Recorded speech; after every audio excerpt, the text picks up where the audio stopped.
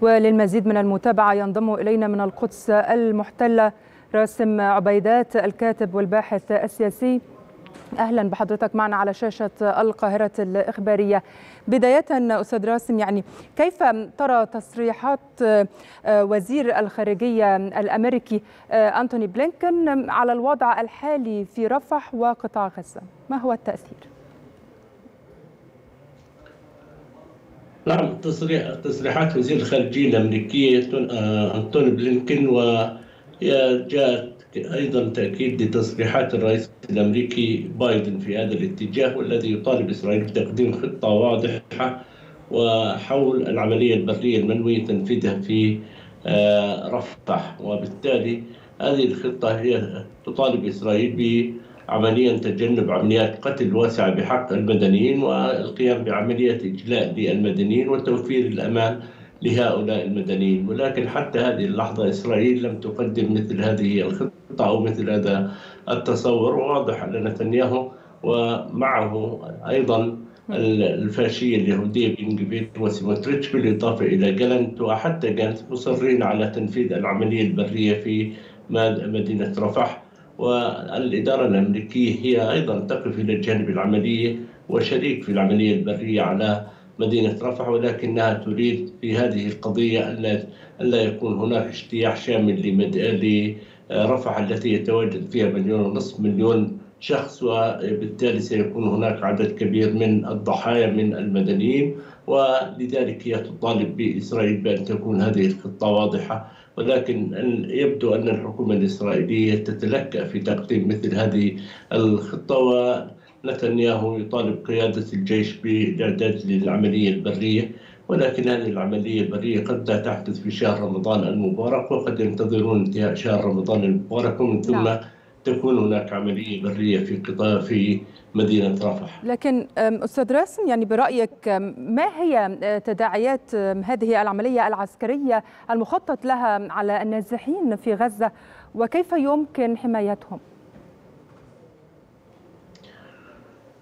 نعم هذه سيكون لها تأثيرات كبيرة على على النازحين في مدينة رفح ولكن أعتقد بأن تأخير عملية الاجتياح لمدينه رفح ويتزامن ما تقوم به الولايات المتحدة الأمريكية من إقامة ما يسمى بالرصيف البحري أو الميناء المؤقت والذي قد يفتح ممرات من أجل القيام بعمليات إجلاء وتهجير للفلسطينيين باتجاه البحر لارنكا ومن ثم إلى الدول الأوروبية. ولذلك هذا الميناء الذي يراد له أن يقطع العلاقة العلاقات البر...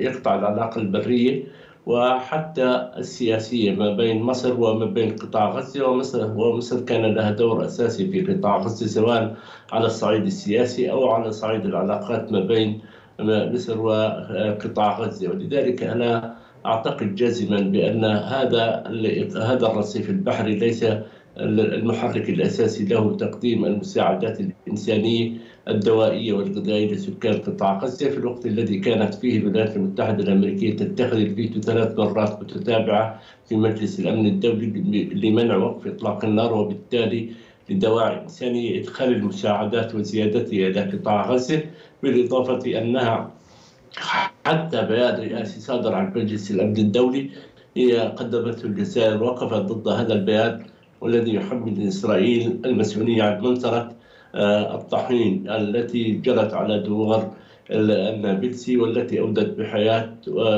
أكثر من مواطن ألف مواطن فلسطيني بين بين شهيد وجريح. طيب لكن من وجهة نظر حضرتك كيف يمكن للاتحاد الأوروبي استخدام أدواته للضغط على إسرائيل لوقف الحرب فورا؟ سيدة الموقف الأوروبي هو تابع ومتدين للموقف الأمريكي وأوروبا في سياستها الخارجية ليس لها سياسة مستقلة في هذا الاتجاه.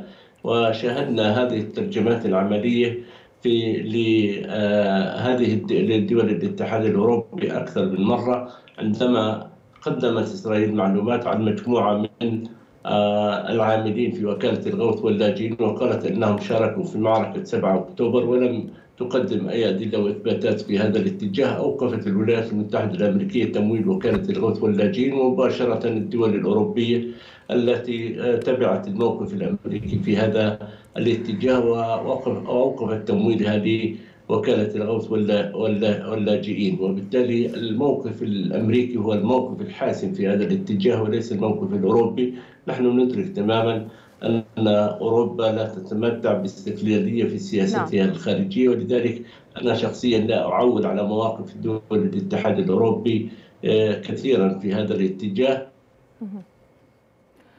نعم أنا أشكرك شكرا. مشروع الحرب على شعبنا كنت معنا من القدس المحتلة الأستاذ راسم عبيدات الكاتب والباحث السياسي شكرا جزيلا.